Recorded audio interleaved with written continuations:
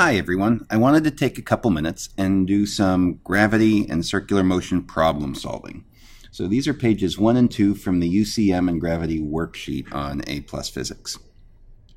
All right, problem 1. A space probe is launched into space from Earth's surface. Which graph represents the relationship between the magnitude of the gravitational force exerted on Earth by the space probe and the distance between the space probe and the center of Earth? Well, to do that, I have to remember that the relationship between the gravitational force and distance is g m1 m2 over r squared. And the key here, our variable on our x-axis is the distance between their centers, r squared. And since that's squared in the denominator, this is an inverse square law. Correct answer, 2. All right, number 2. We have a diagram showing two bowling balls, A and B, and they're placed two meters apart. If their masses are seven kilograms each, what's the magnitude of the gravitational force between them? Well, I'm going to do this one over here on the right. Force of gravity is the universal gravitational constant times the product of the masses divided by the square of the distance between their centers, or 6.67 times 10 to the minus 11 newton meters squared per kilogram squared. Each of the masses is 7 kilograms and they happen to be two meters apart. So when I put that into my calculator very carefully, I come up with something right around 8.17 times 10 to the minus 10 newtons. That should be answer 3. Let's go on and try number 3. A 60 kilogram physics student would weigh 1560 newtons on the surface of planet, planet X. What's the magnitude of the acceleration due to gravity on that planet? Well, to do that, I'm going to start by writing that the weight of the object, which I write as mg, is 1560 newtons. Therefore, g must be 1560 newtons over mass, which is 60 kilograms, or about 26 meters per second squared. Answer 4. Moving on down to number 4. Earth's mass is approximately 81 times the mass of the moon. If the Earth exerts a gravitational force of magnitude F on the moon, what's the magnitude of the gravitational force of the moon on the Earth? Ah, trick question. This is just Newton's third law. Force of object 1 on object 2 is equal in magnitude and opposite in direction to the force of 2 on 1. So our answer here has to be F as well. Number 5. An object weighs 100 newtons on Earth's surface. When it's moved to a point 1 Earth radius above Earth's surface, it will weigh what? Well, we're doubling r. And since this is an inverse square law, if we double r, then we're going to get a force that's one-fourth, that's quartered. 25 newtons. Coming back up here for number six.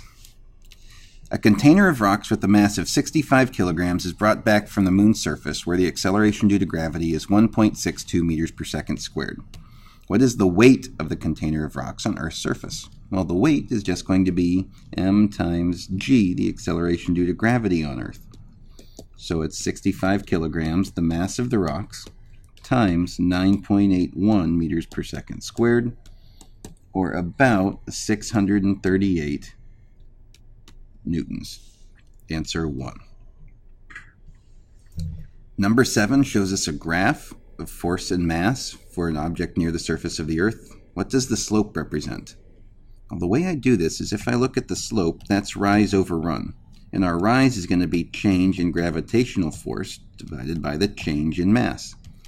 But gravitational force near the surface of the Earth is mg divided by m. Cancel out. The slope is going to be g, the acceleration due to gravity. And let's take a look here at number 8. Person weighing 785 newtons on the surface of Earth, so m times the acceleration due to gravity on Earth is 785 newtons, they would weigh 298 newtons on the surface of Mars. mg Mars equals 298 newtons. What's the magnitude of the gravitational field strength on the surface of Mars? So we're looking for that. Now, in order to know that, it'd sure be helpful to know the mass. And I can get that from my first equation up here. This implies then that the mass of the object is 785 newtons over the acceleration due to gravity on Earth, 9.81 meters per second squared, or about 80 kilograms. Well, knowing that, then, I can say that the acceleration due to gravity on Mars, or gravitational field strength, is going to be 298 newtons over the mass, which we just determined is 80 kilograms, which is going to be about 3.72 newtons per kilogram. Answer 2. All right, let's move on to the next page. Here we have a passage. I'll give you a second to read it here.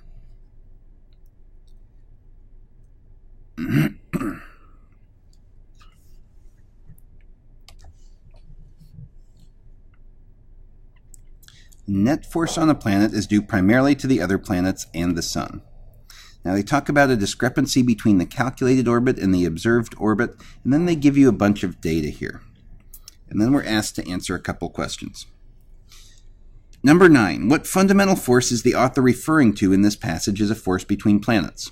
Well, obviously, our force here is gravity. Next, it says, based on the diagram at the right, showing Neptune, Uranus, and the Sun in a straight line, Neptune is 1.63 times 10 to the 12th meters from Uranus. Calculate the magnitude of the interplanetary force of attraction between Uranus and Neptune at that point, showing all work. Well, that's just Newton's law of universal gravitation. Force of gravity is going to be G m1 m2 over r squared. G is 6.67 times 10 to the minus 11 Newton meters squared per kilogram squared. The mass of Uranus I can get from our table up here. I can also get the mass of Neptune to fill in my formulas. 8.73 times 10 to the 25th kilograms. And 1.03 times 10 to the 26th kilograms and we're given the information that the distance between them is 1.63 times 10 to the 12th meters. And again, that's the distance between their centers.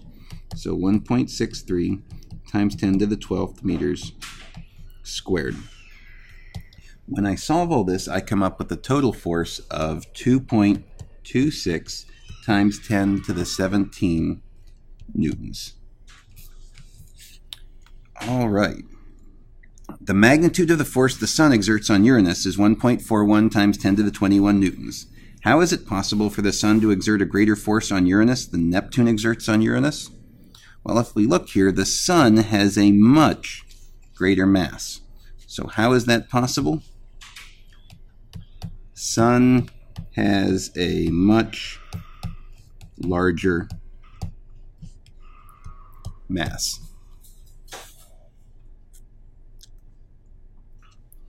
Number 12. When Earth and the Moon are separated by a distance of 3.84 times 10 to the 8th meters, the magnitude of the gravitational force of attraction is 2 times 10 to the 20th newtons. What would be the magnitude of this force if, the dist if they were separated by half that amount? Well, in this case, if you happen to cut the distance in half because it's an inverse square law, the force of gravity is going to be quadrupled. So if it was 2 times 10 to the 20th, if we quadruple that, we get 8 times 10 to the 20th, answer 4. And number 13. An astronaut weighs 800 newtons on the surface of Earth. What is the weight of the astronaut 6.37 times 10 to the 6 meters above the surface of the Earth? Well, the trick here is realizing that if this is the radius of the Earth, they're now at that new distance from the Earth. The radius of the Earth is 6.37 times 10 to the 6 meters, and they're 6.37 times 10 to the 6 meters further away. So in this case, we've doubled the distance from the center of the Earth. If we double r, force of gravity is quartered. Again, that inverse square law relationship.